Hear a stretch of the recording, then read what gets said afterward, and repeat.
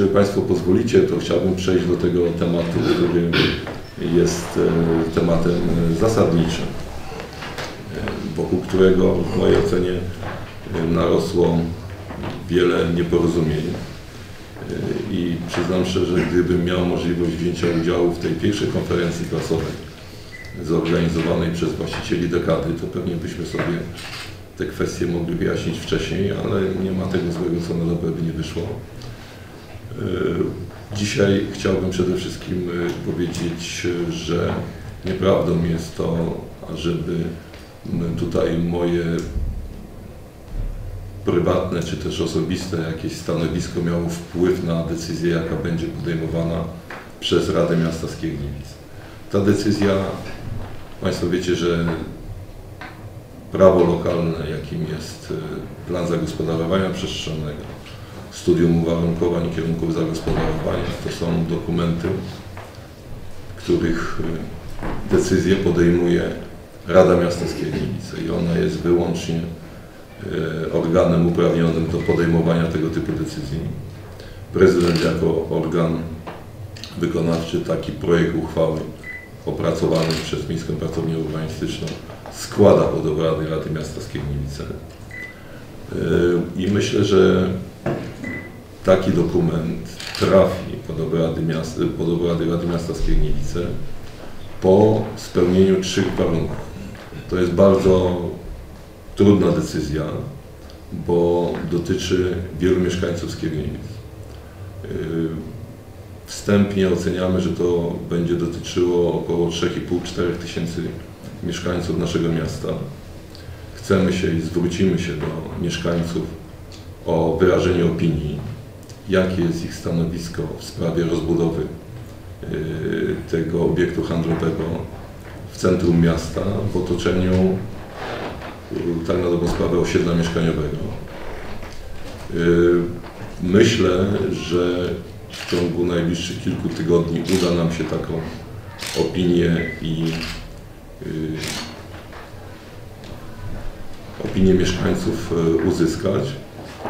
Y, taki list do mieszkańców zostanie wystosowany w najbliższych dniach i w pełni profesjonalna grupa ankieterów będzie te listy od, i opinie od mieszkańców zbierać. Czyli tu jest warunek, chcemy zapoznać się z opinią mieszkańców na ten temat. Drugi to jest kwestia bezpieczeństwa. Myślę, że ja już to wielokrotnie mówiłem, komfort mieszkańców i ich bezpieczeństwo są dla mnie podstawowymi warunkami, które należy spełnić przy podejmowaniu tego typu decyzji. Kwestia bezpieczeństwa w ruchu drogowym zostanie również e, przeanalizowana przez e, profesjonalistów, bo według tych informacji, które zresztą publicznie zostały przedstawione, że na dzień dzisiejszy ten obiekt obsługuje około 120 tysięcy klientów miesięcznie, a po rozbudowie, po dodatkowym po dobudowaniu dodatkowych 8 tysięcy metrów kwadratowych będzie obsługiwało około 500 e, tysięcy klientów, to chcielibyśmy, żeby profesjonaliści, którzy zajmują się analizą i organizacją w ruchu drogowym,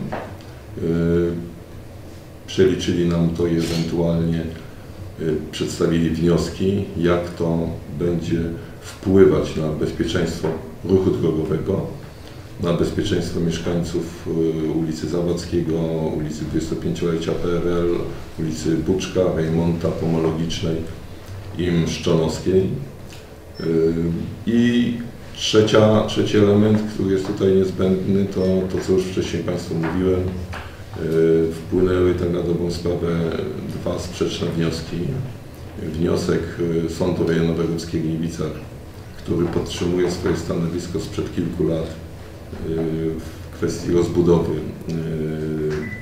siedziby Sądu Rejonowego.